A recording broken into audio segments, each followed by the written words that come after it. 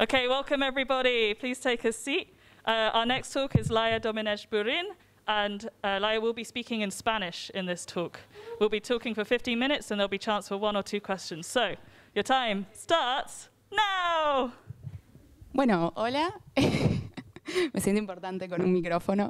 Eh, bueno, hola, soy Laia. Este, yo soy, vengo representando acá a Ecofeminita que Ecofeminita es una asociación civil este, interdisciplinaria eh, que básicamente lo que hacemos es trabajar y eh, luchar en contra de la desigualdad de género económica, visibilizando esta desigualdad, esta desigualdad, divulgando conocimiento a través de informes, reportes y estadísticas basadas en prácticas de conocimiento abierto. Eh, bueno, por otro lado, yo soy Laia, soy socióloga, recientemente me recibí el mes pasado y, coordino,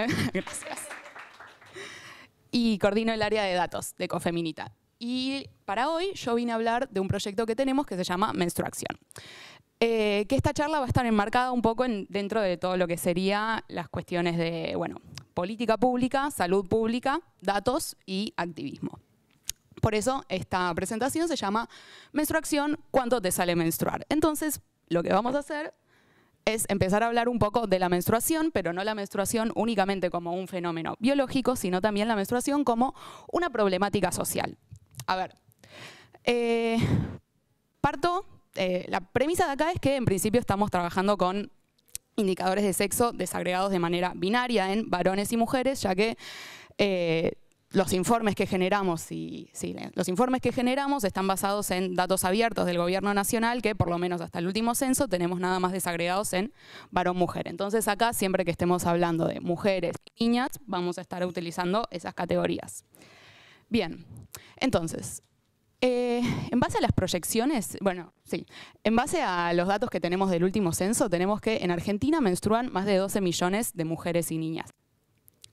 En este sentido, es un fenómeno que podemos decir que sucede al 27% de la población y vale la pena preguntarse cuáles son las características eh, socioeconómicas, sí, principalmente económicas, que tiene esta población. Eh, bueno, y estos datos los traigo acá que los generamos también desde Cofeminita, que elaboramos un informe que se llama eh, La desigualdad de género se puede medir, en el cual medimos cómo básicamente existe una desigualdad económica mujeres y varones que se puede medir estructuralmente.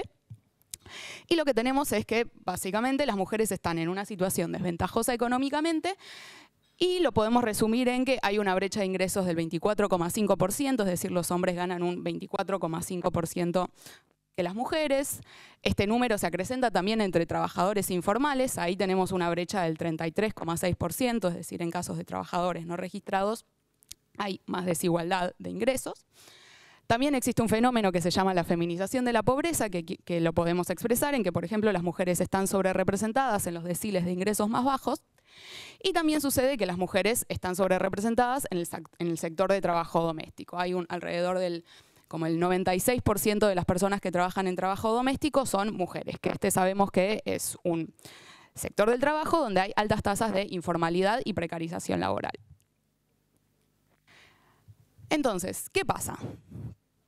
Tenemos esto. Acá menstruan mujeres y niñas que son personas que podemos ver en base a datos estructurales que son una población que ya se encuentra en una situación desventajosa económicamente. Es decir, solo por el hecho de menstruar, además de que es un fenómeno biológico que una vez por mes te sale sangre y sufrís y es horrible, también tenés un gasto que no es optativo sobre la gestión de productos menstruales. Es decir, vos menstruás y tenés que comprar toallitas, tampones, tenés que tener una, copa menstrual, una, em, una toallita de esas de tela reutilizables. Y de esta manera, todos los meses, o por lo menos tenés que tener provista cierto, cierta cantidad de productos menstruales para poder cubrir tu menstruación y poder salir y hacer tu vida cotidiana sin estar sangrando. Entonces lo que tenemos es que solo por el hecho de menstruar hay un gasto que no es optativo, que impacta de manera diferencial en ingresos que de por sí son menores. Que esto empieza a complicarse sobre todo cuando vemos este fenómeno de feminización de la pobreza o mujeres que, por ejemplo, no llegan eh, de sectores de bajos y bajísimos ingresos. Este, en base a un relevamiento que hubo de, de la poderosa, por ejemplo, se ve que la gestión menstrual es un privilegio. Este, estas personas hicieron un relevamiento, hicieron encuestas y lo que salió es que 6 de cada 10 personas menstruantes dejan de comprar estos productos para comprar alimentos. Es decir, menstruarse con las toallitas y los tampones son un gasto que está tan como estigmatizado, invisibilizado, no se habla en absoluto de cuánto cuesta menstruar, entonces no se visibiliza que hay lugares en donde las personas eso, tienen que elegir entre comprar un paquete de arroz o un kilo de carne o comprar un paquete de toallitas. En algunos casos también como sustitutos se, recurren a productos no diseñados para contener el sangrado, como algodón, trapos o diarios, que lo que hacen es poner en riesgo la salud pública, bueno, la salud de estas personas. Como que en algunos sectores sociales tenemos que, bueno, hay copas y eh, esto, toallitas reutilizables, pero después tenemos que en sectores de bajos ingresos, donde el gasto se puede realizar del día a día, en el día a día y no se puede, por ejemplo, comprar una copa de cuatro lucas en una farmacia, se recurre a estos otros productos que lo que hacen es terminar perjudicándote la salud y que además no contienen el sangrado. Otro fenómeno que sucede es que en muchos casos eh, menstruar es un factor de ausentismo, sobre todo escolar, pero también laboral. Las niñas que no pueden acceder a estos productos y menstruan, faltan al colegio, porque da vergüenza y porque está estigmatizado y no se habla del tema. Y frente a esto aparece un poco la cuestión de cuál es la responsabilidad del Estado en este asunto. Bueno, la básicamente tiene que hacerse cargo de esto. Lo que sucede actualmente es que el Estado no toma como esta responsabilidad como garante de la salud menstrual de la, población. No se contempla que todas las personas menstruantes puedan acceder a productos de gestión menstrual. No se generan estadísticas tampoco acerca de la menstruación de las personas. Todos estos datos de los que yo estuve hablando se hizo, se, las realizamos en base a, bueno, cuándo empieza más o menos las edades menstruales, cuándo empieza eh, la menopausia y así, pero no tenemos estadísticas o relevamientos a nivel nacional todavía acerca de estos datos. Y lo que planteamos desde que Feminita es que se tienen que, bueno, al tener esta responsabilidad fundamental como garante de la salud menstrual de la población, tiene que elaborar también políticas públicas que permitan que las personas menstruantes puedan acceder a productos de gestión menstrual sin poner en riesgo su salud ni, ni renunciar a su subsistencia básica.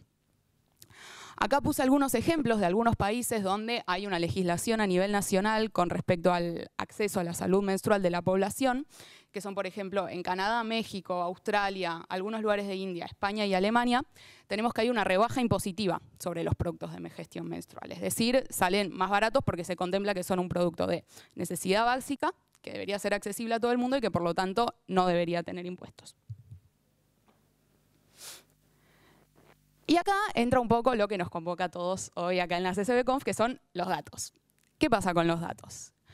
Sabemos que para elaborar una buena política pública es una política pública que está basada en evidencia, en base a datos, en base a relevamientos. Entonces lo que planteamos es que para elaborar estas políticas públicas de gestión menstrual justamente necesitamos quitarle el tabú a la menstruación y elaborar eh, informes, estadísticas y tener, sí, tener información acerca de cómo menstruan las personas, de cómo menstruan las personas en Argentina, cuánto menstruan y demás. Este, básicamente, cuando decimos que lo que no se nombra no existe en el ámbito de la política pública, cobra otro sentido. No podemos visibilizar institucionalmente lo que no está medido en, en estadísticas nacionales. Y por poner algunos ejemplos, en la canasta básica familiar está incluido un paquete de toallitas y de tampones, algo que es, eso es ridículo, o sea, toda, en una canasta básica familiar ahí se contempla que, hay, que puede haber personas, mujeres que menstruan y que no haya algo tan básico como un paquete de toallitas ahí es no tiene sentido. Tampoco tenemos información acerca de las personas, de la menstruación de las personas en Argentina, porque de nuevo estamos trabajando hasta ahora con una desagregación de sexo binaria, pero sabemos que las personas que menstruan son personas con útero, no únicamente mujeres, así en abstracto, porque que, es ser mujer también, ¿no? Eh, bueno, y frente acá aparece el rol que el Estado no lo toma, el Estado invisibiliza, eh, el Estado invisibiliza, no habla de menstruación al nivel de la población y aparece el rol del el activismo y las activistas menstruales. Que lo que hacemos es llevar a cabo intervenciones territoriales que garanticen el acceso a productos de gestión menstrual, educación, contención, acompañamiento y producción de conocimiento. Eh, y bueno, entonces yo vengo acá a hablar un poco de la producción de conocimiento acerca de la menstruación de las personas. Y aparece cuánto te cuesta menstruar, que es este informe que desarrollamos desde Cofeminita. ¿Qué decimos? O sea, hasta ahora dijimos que no hay indicadores estadísticos nacionales acerca del costo de menstruar en el país, entonces desde Cofeminita dijimos, bueno, veamos qué herramientas tenemos para poder elaborar estos indicadores y poder visibilizar de, y poder justamente visibilizar que este es un gasto que recae y que afecta directamente las condiciones materiales de existencia de un grupo poblacional. Entonces, en conjunto con eh, el grupo de las de sistemas, elaboramos el Menstru Scrapper, que lo que hace es básicamente recorrer la página de Precios Claros, que Precios Claros es una página eh, que tiene el Estado Nacional, que busca ser transparente en torno a los precios que deberían tener los productos en, los productos en todo el país, eh, y descargamos los precios de toallitas y tampones. Esto tiene sus limitaciones, obviamente, porque dependemos de una API, de Em, una página del gobierno nacional que, por ejemplo, hace unos meses como que nos dio pocos registros, observaciones raras y demás, pero en la última corrida, en marzo de 2023, obtuvimos los precios de 15.931 tampones y 70.007 toallitas. Eh, bien. Y a continuación lo que realizamos es hacer el promedio por unidad y promedio por gasto y el promedio del gasto por persona a partir de 13 ciclos por año y 22 productos utilizados por ciclo. De nuevo, esto en base a investigaciones realizadas por eh, bueno, científicas de afuera en torno a la menstruación, la cantidad de productos que se usan y demás. Y para hacer el cálculo del promedio nacional, para calcular cuánto es el gasto anual en productos menstruales eh, de una persona en Argentina, se realiza un promedio ponderado de los valores provinciales por la cantidad de personas de esas provincias que menstruan, que de nuevo para tomar personas que menstruan hacemos entre los 14 años y los 57, que es la edad promedio de inicio de la menopausia. Y bien, ¿cuáles fueron los últimos resultados que tuvimos? Este, en marzo de 2023 nos dio que el gasto promedio por año en toallitas por persona es de 10.915 pesos y el gasto promedio por año en tampones eh, por persona es de 12.146 pesos. Lo que hacemos también es hacer una evaluación, hacemos un gráfico y observamos cómo incrementan los precios para ver eh, cómo la inflación menstrual y lo que vemos es que va a la par de la inflación del de nivel general y los productos de salud. Y otra cosa que elaboramos también es una aplicación que se llama ¿Cuánto te cuesta menstruar? Que básicamente, entendiendo que no todos los ciclos son iguales eh, y no todas las personas acceden a los mismos productos a la hora de menstruar, una, persona puede poner si tiene un periodo regular o no, cuántos periodos tiene por año, cuántos productos usa aproximadamente por periodo y de qué marca para tener para poder ver su propio gasto menstrual en una aplicación web y tener como noción un poco de esto, de el gasto que tenés por año, que de nuevo es un gasto que no es optativo y que bueno, en sectores medios y sectores de ingresos altos ya estamos hablando de alternativas ecológicas y sustentables para poder acceder a la gestión menstrual, pero en sectores de bajos ingresos todavía es algo que no está resuelta la gestión menstrual accesible para todo el mundo. Bien. Entonces, esto lo hacemos de nuevo en el marco de la campaña Menstruación, que es una campaña que impulsamos a nivel legislativo para que haya una eh, ley de gestión menstrual eh, a nivel nacional donde básicamente lo que planteamos es que menstruar afecta esto, de, manera directa las condiciones materiales de existencia para las personas menstruantes en Argentina.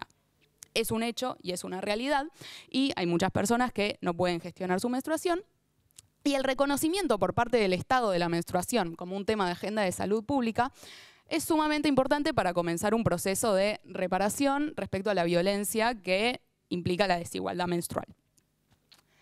En base a esto, eh, la campaña menstruación proponemos tres objetivos principales. La primera es la quita del IVA a los productos de gestión menstrual para que baje su precio. La provisión gratuita en espacios comunitarios también para que todas las personas puedan ir a un hospital o a un colegio y conseguir toallitas o tampones. Y por último también la promoción de la investigación y socialización de datos al respecto. Entendiendo que, bueno, esto justamente es un tema también que es tabú, es estigmatizado y no se habla de él. Y con eso terminamos. ¿Dudas? ¿Comentarios?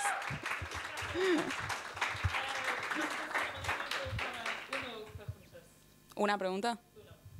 Bueno, ¿una pregunta?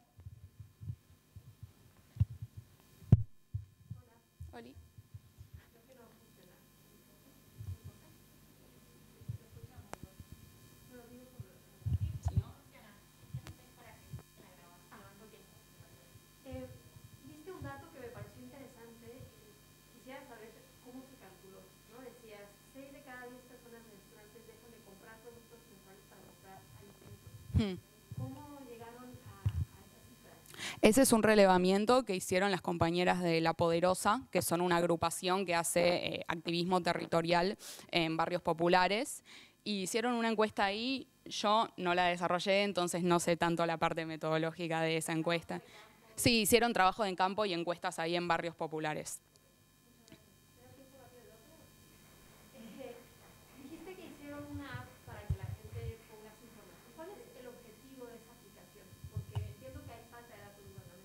Hmm.